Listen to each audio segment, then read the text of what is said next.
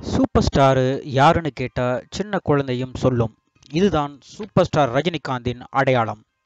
அந்த அளவுக்கு தன்னுடைய நடிப்பு மற்றும் ஸ்டைல் மூலம் சிறியவர்கள் முதல் பெரியவர்கள் வரை அனைவராலும் பாராட்ட பெற்றவர் அப்படிப்பட்ட சூப்பர் ஸ்டார் அரசியலுக்கு வருவேன் என்று சொன்னவுடன் தமிழக மக்கள் அனைவரும் சந்தோஷம் அடைந்தனர் அதன்பின் ரஜினிகாந்த் தடுமாற ஆரம்பித்தார்.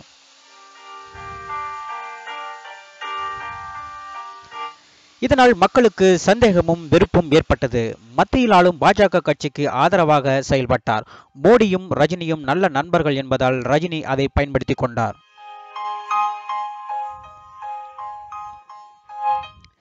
அதே வேளையில் பாஜக தலைவர்களில் பலர் நாட்டில் ஜாதி மத பிரச்சனைகளை ஏற்படுத்தும் வகையில் நடந்து கொண்டனர். பிரதமர் சொல்வதையே கேட்காமல் பிரச்சனைகளை வளர்த்து வந்தனர்.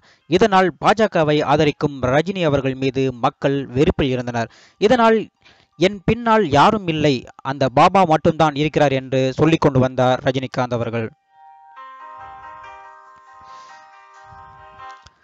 ஆனால் முழு பூசணிக்காயும் சோற்றில் மறைக்க முடியாதல்லவா? அதேபோல் தனது கட்சி பெயர் மற்றும் லோகோவை வெளியிடுகிறேன் என்று பல தடவை சொல்லிவிட்டார். ஆனால் அந்தந்த சமயங்களில் பாஜக கட்சியினரின் வெறுக்கத்தக்க செயல்களால் ரஜினிகாந்த் தனது அரசியல் என்ட்ரியை தள்ளி போட்டு கொண்டே வந்தார். இதனால் இது ரசிகர்களுக்கு மிகப்பெரிய ஏமாற்றத்தை ஏற்படுத்தியது.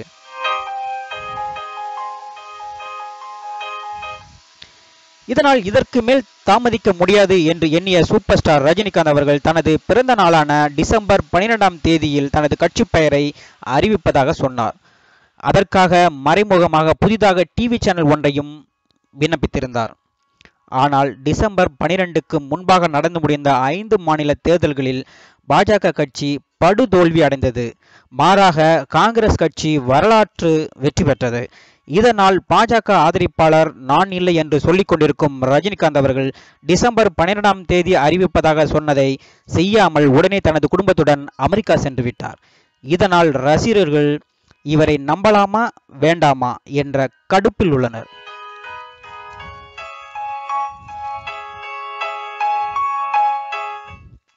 இந்த கடுப்பு முடிவதற்குள் ரஜினி ரசிகர்களுக்கு மேலும் ஒரு இடி காத்து கொண்டிருக்கிறது. அதாவது சூப்பர் ஸ்டார் அவர்கள் தற்போதைக்கு அரசியலுக்கு முழுக்கு போட்டுவிட்டு மேலும் இரண்டு படங்களில் நடிக்க சம்மதித்திருக்கிறார். ஒன்று ஏ ஆர் முருகதாஸ் இயக்கத்தில் உருவாக போகும் படம். இந்த படம் லஞ்சம் ஊழலுக்கு எதிரான படம். இந்த படத்தின் கதையை ரஜினி அவர்கள் ஏற்கனவே ஓகே சொல்லிவிட்டார். அடுத்ததாக இயக்குனர் வினோத் உருவாக்கும் ஒரு படத்தில் நடிக்க உள்ளார். வினோத் சதுரங்க வேட்டை படத்தை இயக்கியவராவார். வினோத் சொன்ன கதை ரஜினிக்கு பிடித்து விட்டதாகவும் திரைக்கதையை மட்டும் மேலும் நன்றாக அமைக்குமாறும் ரஜினி வினோத்திடம் சொல்லியிருக்கிறார். இந்த படத்தில் ரஜினியுடன் அவரது மருமகனான தனுஷும் நடிக்க இருப்பது கூடுதல் தகவல். தான் தயாரித்த காலா படத்தில் தனக்கு நடிக்க வாய்ப்பு கொடுக்காத பா. ரஞ்சித் மீது ஏற்கனவே கோபம் கொண்டிருந்த தனுஷ் இந்த படத்தில் அந்த வாய்ப்பு கிடைத்திருப்பதால் மகிழ்ச்சியாக உள்ளார் என்பது கூடுதல் தகவல்.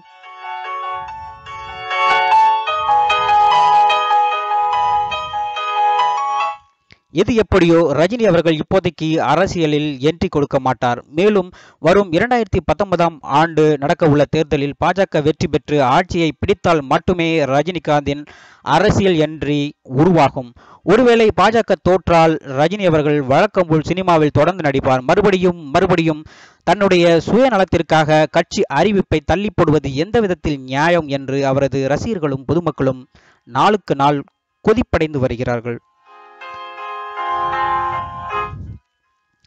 மக்களுக்காக உதவி நினைக்கும் ஒரு மனிதர் எதற்காக நேரம் காலம் பார்க்க வேண்டும்?